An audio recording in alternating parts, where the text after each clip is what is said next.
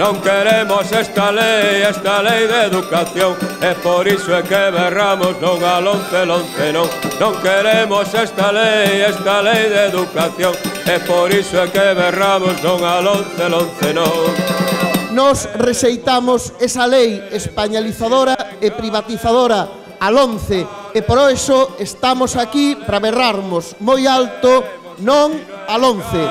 para que o noso idioma non sexa estranxeiro Eu queremos ensino en galego. Eu digo non al 11 Porque é unha lei educativa antieducativa Porque discrimina os que o pensamento liberal capitalista considera pouco dotados al 11 pretende trasladar ao ensino público un modelo neoliberal que afonda nas diferencias sociais no canto de contribuir a que todas e todos teñamos acceso en igualdade de condicións a unha educación pública de calidade.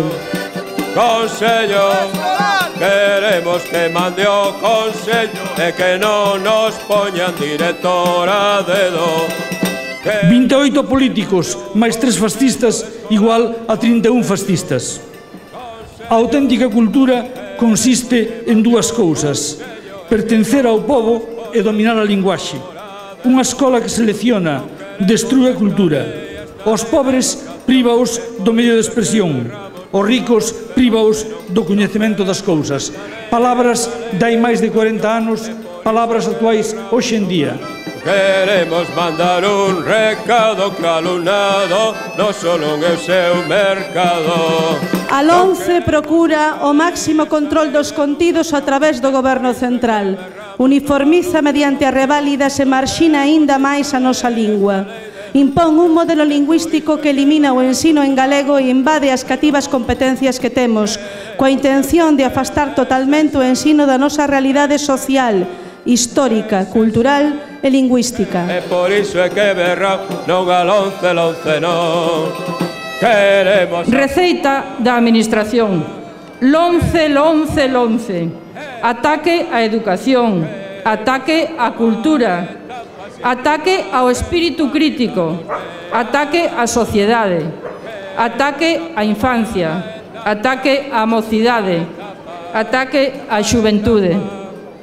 Non queremos esta lei, esta lei de educación. E por iso é que berra, non al 11, 11 non Non queremos esta lei, esta lei de educación. E por iso é que berra, non al 11, 11 non Que parva que eu sou. Porque isto está mal e vai continuar LONCE reforza a confesionalidade e impide o ensino laico. O anteproxecto mantén o ensino da religión no currículo escolar, contemplado, contemplando unha materia alternativa en primaria e na ES. É unha lei elitista, clasista e segregadora, xa que establece reválidas para poder acceder a titulación correspondente en cuarto da ESO en bacharelato. Que mundo tan parvo onde para ser escravo é preciso estudar. A lonce reflicta as posicións ideolóxicas máis extremas e reaccionarias do PP. Un anteproxecto de lei ao servizo da patronal do ensino privado concertado e da mercantilización da educación que confirma os actuais concertos educativos, legaliza os centros que segregan alumnado por razón de sexo. A lonce facilita a planificación escolar en función do ensino concertado, reproduce un sistema xerárquico empresarial para o funcionamento dos centros, impide o acceso das clases populares á educación e impón unha educación baseada na competitividade, na exclusión social e na desigualdade, e non un ensino equitativo, inclusivo e integral. Al 11 sitúa a lingua galega detrás da religión e da segunda lingua estranxeira que van ter o estatus de específicas. Promove o descoñecemento do idioma propio o decretar o dereito do alumnado a negarse a estudar no noso idioma. Para onde para ser escravo é preciso estudar.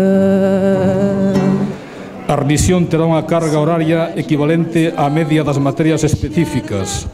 A selección do profesorado, os libros de texto e o material será competencia das autoridades religiosas. Que mundo tan parvo onde para ser escravo é preciso estudar Que mundo tan parvo onde para ser escravo é preciso estudar.